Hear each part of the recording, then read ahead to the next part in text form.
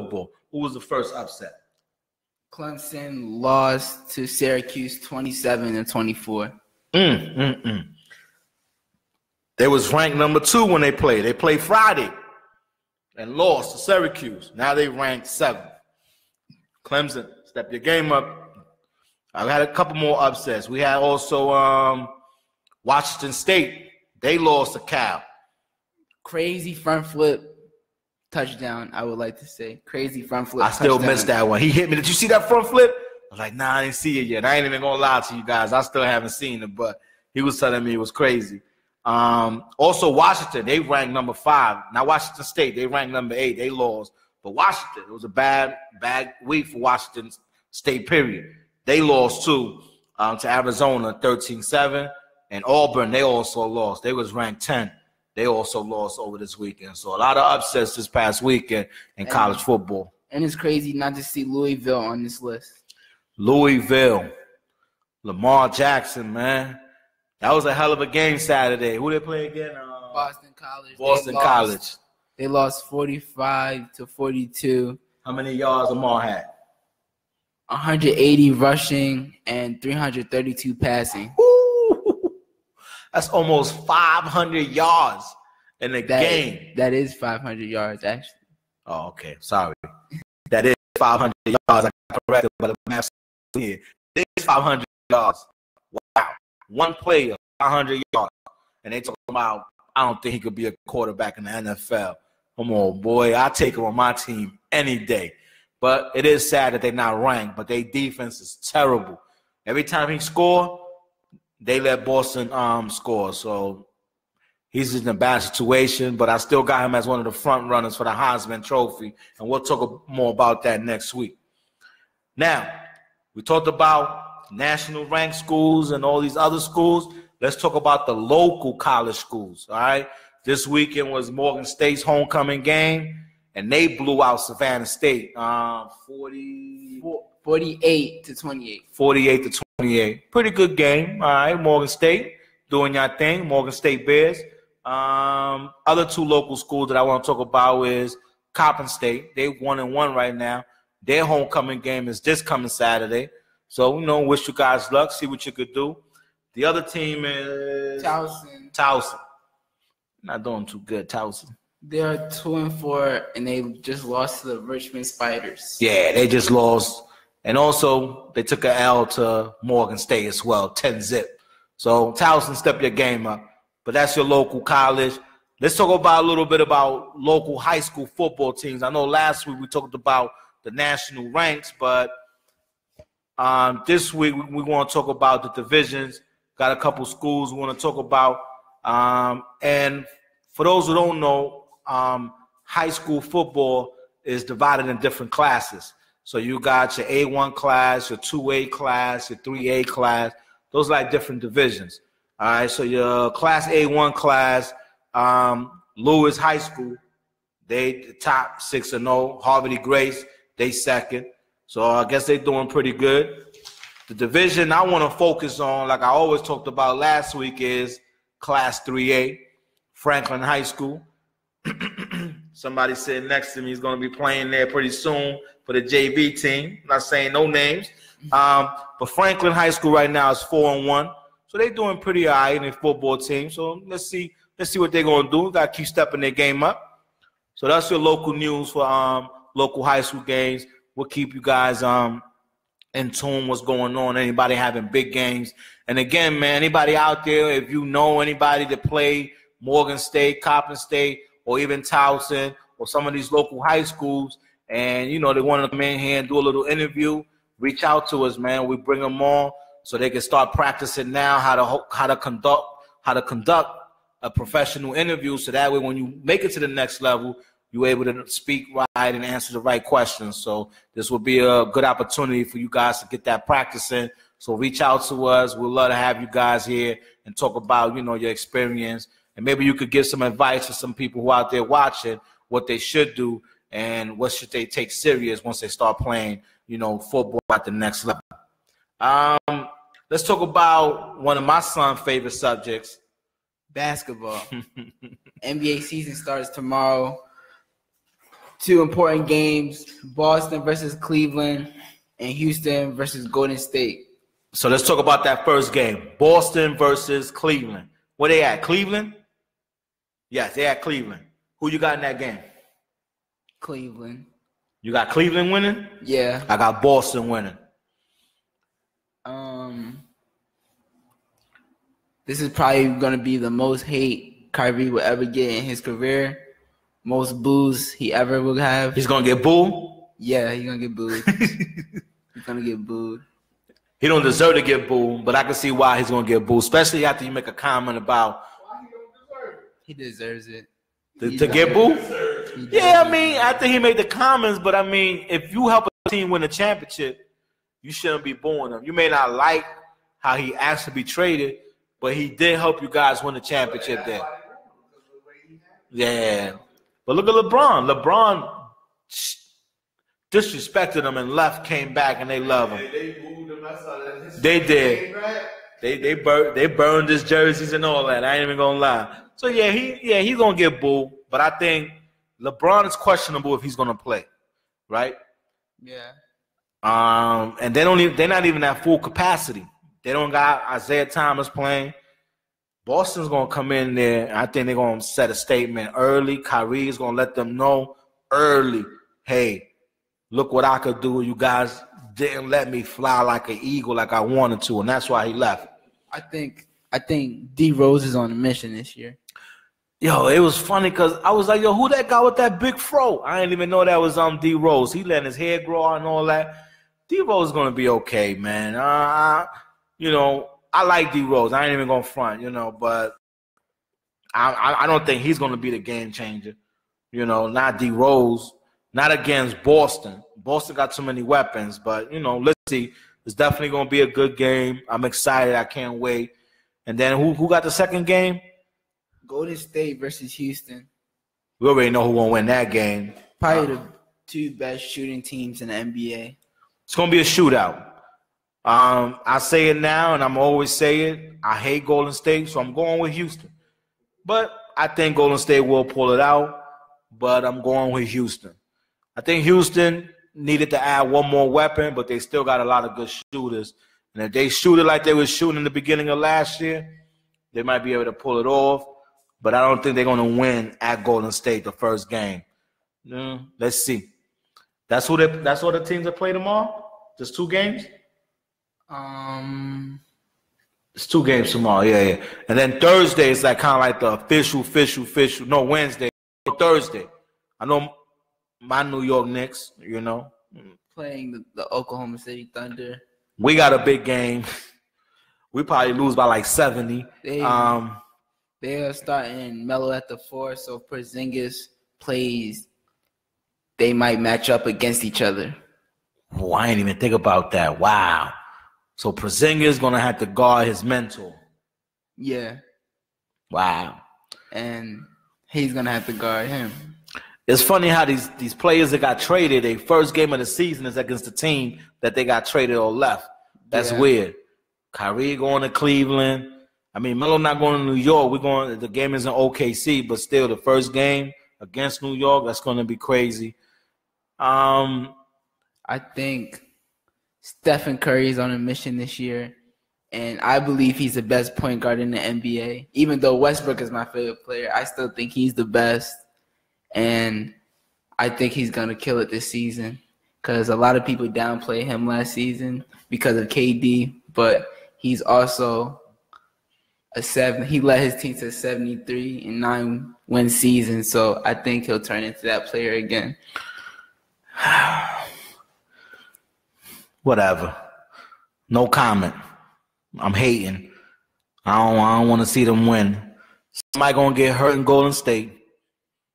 If they get One of their big threes gonna get hurt, and somebody gonna kidnap their coach, mm, It's one. That's it. It's over for Golden State. if one of them gets hurt, then they have other people to step up. Ah. KD got hurt last year, and then it didn't affect them. When KD got hurt last year, though, he wasn't part of their rotation, right? That was his first year on that team, so they was able to afford not playing without him. because they wasn't really used to playing with KD. See the difference? Now, if Curry would have got hurt last year instead of KD and miss all those games, I think it would have been a big difference. But then it's still regular season. yeah. All right. So I want to talk about. So you know, basketball. That's where we leave it at. You know, we got some more stuff coming up. Season just started, so we'll get more into basketball a little later. Um, I do. You know, I'm. I'm trying. We're gonna try our best to keep politics out of this show because you know, sports and politics, in my opinion, shouldn't mix. All right, that's my opinion. But it's hard to ignore a statement that was said by somebody who I kind of, I ain't gonna say I looked up to, but I respected this man as a coach. Um, I respected him as an analyst on ESPN morning show until I heard this ridiculous statement coming out of his mouth. All right. What what that idiot said, Dustin? Mike Ditka. Oh yeah, we talking about Mike Dick. You idiot. Said there hasn't been any oppression in the last hundred years. Yeah, so he's like, oppression? What oppression? I haven't seen oppression in the last 100 years. And at first, you kind of like, oh, all right. But then you really look at the statement 100 years. So I wrote down a couple things here that I kind of want to like just to mention because it happened. Um, the Civil Rights Act, 1964. The Voting Act, 1965. Rosa Parks, 1955. Man, that's it's not 100 years, brother. And we could go on and go on. Martin Luther King assassination, Malcolm X assassination, and go on and go on and go on. So, Mike, like the dude from the Breakfast Club would say, you get the donkey of the week, dude, for saying something out, something like that out your mouth, man. Lost all respect for you. Um, and again, this year, man, I, I said it once that dude got in the office. We're really gonna see how racism is still alive in this country. A lot of people kind of swept it under the rug once Obama got into office, but now we're starting to witness how alive it is. And again, that's enough about politics. But I just needed to say that because a coach made that statement. Somebody who is respected in the NFL, respected among players, coach some of the greatest players in the Hall of Fame now. And for you to make that statement, mm-mm-mm. All right, so guys, let's talk about the top football team because I know we're about to close out. So I want to give you guys our top five. And Anybody online, they want to share their top five. That's cool. We read them out. So you go first, champ. I have the Kansas City Chiefs at number one, the Philadelphia Eagles at number two, the Carolina Panthers at number three. At four, I have the Patriots, and at five, I have the Falcons. You bugging. How how you got the Falcons after that big loss that they just had against Miami? You still got them as a top five team in the league? Yeah. How? I mean, they lost the game. Everybody loses. They're still good. They're still good, you think? Yeah. All right. My top five, I mean, we we got the two, the first two identical. I got the Chiefs. I got Philly. I got Steelers in there. Okay. Even they uh I got them. I got them on my four. My three would be the Patriots. Steelers will be fourth. And then my fifth, I got a combo. I got the Seahawks, and then I got a slash Falcons. And we all know why I'm still kind of hesitant on the Falcons because of, you know, they can't close out those big games. Right now, to me, those are my top five teams in the NFL. How you gonna get on me having the Falcons at number five and you got the Falcons at number five? well, technically, I got the Falcons at number six because I got um, you know, I got a slash. I got the Seahawks there, and then a I got the Falcons. Mean, a slash means tie. A slash means tie. Yeah. A nah. slash means tie. So y'all, y'all didn't put Green Bay in there because of the injury. Yeah, Yeah. I, I don't got Green Bay in there because I definitely would have had Green Bay in there.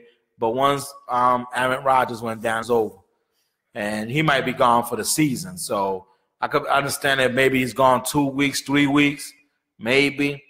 Um, yeah, the whole season. I don't see it. The Panthers. I see you got the Panthers on your list. I got them at three. Uh, yeah. You know, honorable mentions? Any, any honorable I don't got no honorable mentions. What about you? Like Jacksonville? Jacksonville, they just Jacksonville They got the- don't got a quarterback. yeah. You can't. To me, if you're gonna win a Super Bowl, you gotta have a quarterback. A quarterback that's gonna you're gonna be like like I look at my top five, all of them got good quarterbacks. Um, I look at your top five, they all got quarterbacks. Jacksonville, nah, I don't think so. Now, if Jacksonville was to trade for Eli Manning, that's a different story. Eli. Eli Manning. Now, a story came out, right? You trying to leave? Well, he's not trying to leave, but you know how people start throwing stuff in the air. You know, Tom Coughlin now runs football operations down in Jacksonville, Yeah. and they need a quarterback. And Eli Manning, if we could get him to kind of see that big picture, if they if you put Eli Manning as a quarterback in Jacksonville, they definitely a Super Bowl contender to me. Yeah, I look at Jacksonville, how I looked at the Seahawks a couple years before they really started peaking, and, and Carolina the same way they were just a couple years away from really being a problem for people. I, I think that's what Jacksonville. Right, Jacksonville. They just don't got no quarterback. But every one of them teams y'all both mentioned, quarterback goes down. That's a whole other team. Every one of. Yeah. One It's- injury away. Yeah, yeah. Even the Patriots.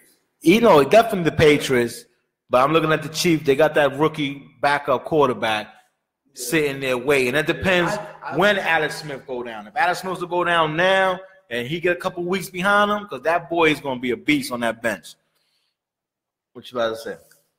Um, I feel like the Chiefs will still be a playoff team if Alex Smith goes down. So a playoff team. Yeah, I think I can see that. good enough. Philly will be in trouble. Um, Steelers will be in trouble as as we see whenever Ben go down, they backups never do good. Patriots Patriots, I a think- little bit because I think they'd be in trouble. you can never count the Patriots out. When when um when Brady was suspended those first four games, they went three and one, and they still got that backup quarterback sitting there waiting, waiting. Seahawks, we already know quarterback they done. Falcons they done. Um, I don't know what other team out there that I think would be a Super Bowl contender. Skins. Skins, Uh, I don't know. I don't- ah, I don't think they ready just don't yet. think- I don't think they got that. Philly and Skins, they're gonna make it to the playoffs, but they're not gonna make it to the championship. Um, either, to me right now, represent If you had to pick it right now. right now, I will probably go Patriots and Seahawks. Right now, Patriots and Seahawks. Patriots and Seahawks. No, Right now, no. Who you go with? Out of this, Right now, who you Super Bowl? Right now, who you think? mm,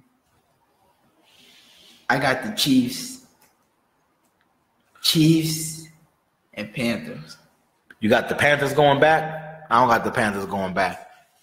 Um, what, what, you, what you think? I, I like that. Chiefs and Panthers? Yeah. Oh. Right now. Yeah. Yeah. I think can I think But I Kansas- think Kansas City will take it. yeah probably. If it was between the Chiefs and the Panthers, I'll go with the Chiefs on that game. Yeah, I'll go with the Chiefs. But Cam Newton is a bad man too, man. You can't sleep on him. So,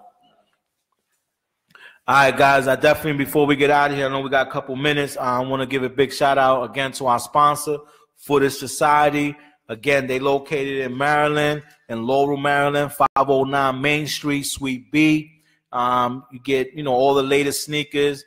Go visit them on their website, footagesociety.com, or you could give them a call. At 240-319-4062. Once again, 240-319-4062. I want to thank everybody for tuning in. Trust me, we're gonna have more surprises for you guys. And I definitely want to give a shout out to RadioOnFire.com, Diamond K for their hospitality and showing us nothing but love here. And again, we'll see y'all next week, same day, same time, six or seven. Who you think? Trey Verdejo. I represent the old school. And I'm Destin Verdejo, and I represent the new wave. All right. Peace. Peace.